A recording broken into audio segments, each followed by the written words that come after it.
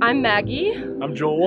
Um, and we got this van in uh, January of 2020, so we're coming up on two and a half years. I had just moved to Colorado from Nebraska, so I had kind of seen the van life and um, moved to Denver and obviously there's a lot of cool vans around Denver so I really kind of started thinking about it and just the possibilities that would open up for us um, for skiing, camping, traveling.